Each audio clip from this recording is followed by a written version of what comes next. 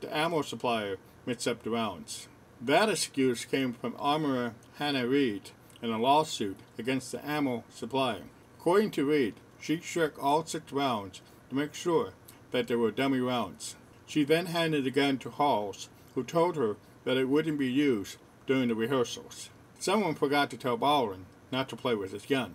The sheriff's department still haven't determined how six live rounds made it onto the set. One round was in the gun, one round on Baldwin's gun belt, and four rounds on the prop cart.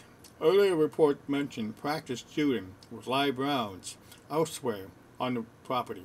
Reed had a legal responsibility as the armorer to ensure the safe usage of the prop guns and the ammo on set. Her lawsuit against the ammo supplier won't change her legal liability. The jury should convict her for involuntary manslaughter.